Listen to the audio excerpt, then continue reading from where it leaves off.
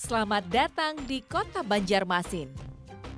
Ibu kota bumi Antasari ini tawarkan beribu pesona, dari wisata budaya hingga religi.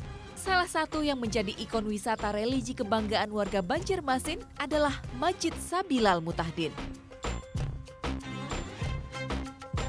Masjid megah yang mulai dibangun tahun 1974 ini berada di Kelurahan Antasan Besar, Banjarmasin Tengah. Masjid seluas lebih dari 5.000 meter persegi ini juga ada di tengah hutan kota.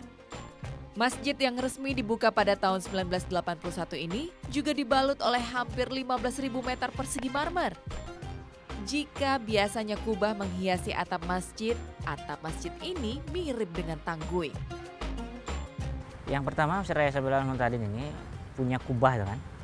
Kubah, kubah ini dibentuk seperti bentuk tanggui. Tanggui itu istilah orang Banjar, itu topi ketika orang memakai perahu kecil atau jukung di istilah orang Banjar.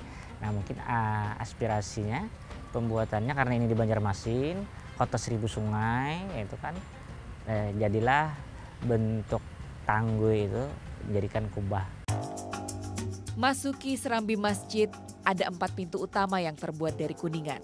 Berhias kaligrafi empat nama sahabat Rasulullah Abu Bakar As-Siddiq, Umar bin Khattab, Utsman bin Affan, dan Ali bin Abi Talib.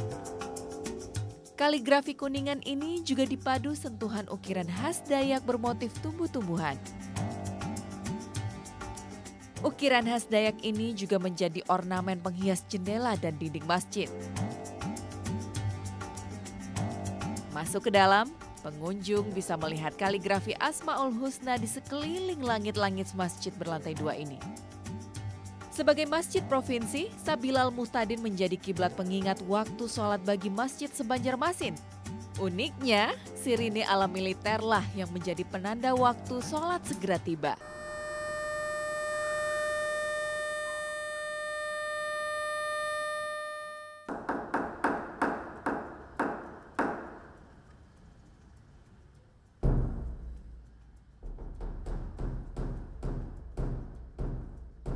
Sekitar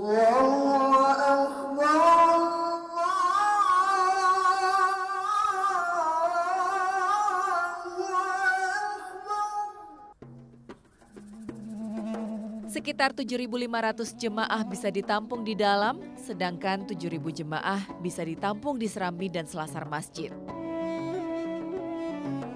Jemaah masjid tak hanya warga kota saja, melainkan dari luar kota, bahkan luar negeri. Ya pertama saya itu sukanya sama gurunya ya, ngepen gitu loh. Ibarat itu ngepen ya sama guru almarhum guru Bakri mulai tahun 2000-an lah. Sekarang dia meninggal udah beberapa tahun. Sekarang ada lagi yang ganti gitu loh. Saya tetap di sini tuh karena suasananya enak gitu ya. Masjidnya ini besar. Ini kan masjid kebanggaan Banjarmasin. Adem sih enak ya dingin. Terus itu juga husuk jadinya kan sepi. Uh -uh. Mungkin mungkin juga udah jam 3 kali udah pada sepi untuk memakmurkan masjid, pengelola masjid menyediakan berbagai fasilitas, Salah satu fasilitas yang ada di masjid ini adalah radio dakwah. Setiap hari menjelang waktu sholat, radio ini mengudara menyiarkan syiar agama. Masjid ini juga memiliki sebuah perpustakaan. Berbagai buku dan kitab menjadi koleksi perpustakaan ini. Salah satunya, kitab fikih Sabilal Muhtadin karya Syekh Muhammad Arsyad Al-Banjari. Kitab yang menjadi nama masjid ini pun telah dibuat terjemahannya agar lebih mudah dipelajari.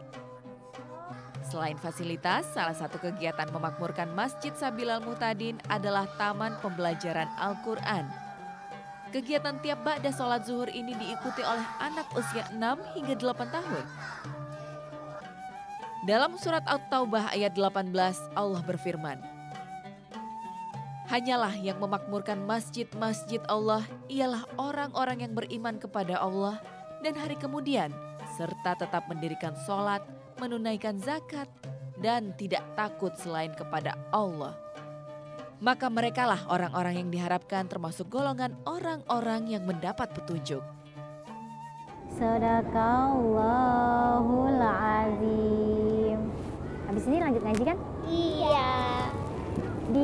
Sabilal Mutadin ini ternyata ada kegiatan rutin yakni tiga kali sepekan mengadakan pengajian akbar dan ini bukti bahwa warga Banjarmasin bangga dan ada usaha untuk memakmurkan masjid kebanggaannya. Anggres Tamia, Abdul Hasibuan melaporkan untuk NET.